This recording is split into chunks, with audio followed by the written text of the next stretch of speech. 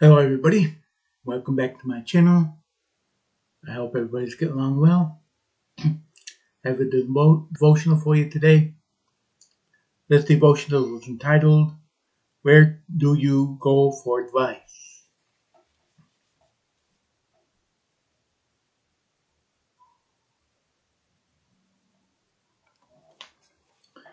I'll be reading from my Bible, 1 Timothy chapter 4, verses 4 through 10.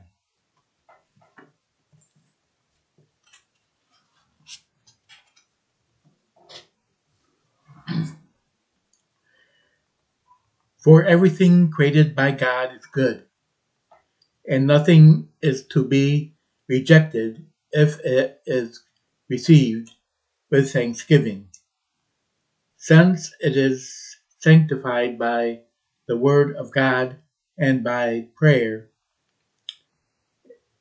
If you point these things out to the brothers and sisters, you will be a good servant of Christ Jesus, nourished by the words of the faith and the good teaching that you have followed, but have nothing to do with pointless and silly myths Rather, train yourself in godly godliness, for the training of the body has limited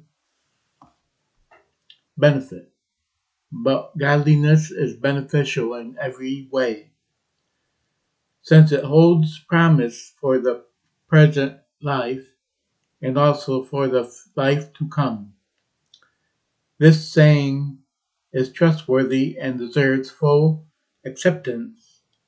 For this reason, we labor and strive, because we have put our hope in the living God, who is the Savior of all people, especially of those who believe. Amen. Right, let's do Bible reading, now the devotion.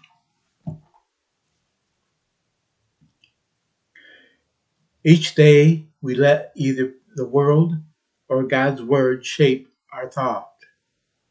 Although most of us are quick to say we believe the Bible, at times our actions indicate we're influenced by something else. Where do you go when you want advice about a big decision or lifestyle choice? Websites, blogs, and media offer a wealth of information that can either be, that can be either beneficial or harmful. Co-workers, family, and friends also provide counsel, but do they rely on worldly reasoning or godly wisdom? The best resource for true guidance is Scripture, but we often rely on human intelligence, and personal preferences instead. Hebrews 4:12 describes God's word as living and active and sharper than any two-edged sword, and piercing into the deepest parts of the soul. Those who are reluctant to surrender to its penetrating work essentially reject the Lord by their refusal to listen and obey.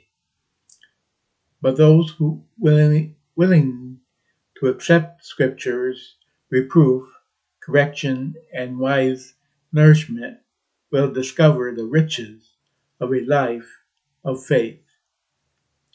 Letting the Word be your guide requires costly changes in thought, attitude, and behavior.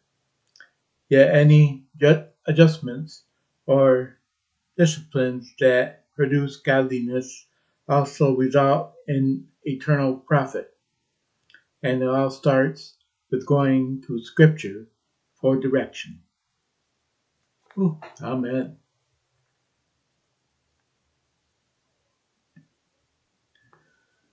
Yes, we all need help in that area. yes, we all we all get into the worldly wisdom instead of godly wisdom. from time to time. I know we need to go to the Bible more than to the world and social media.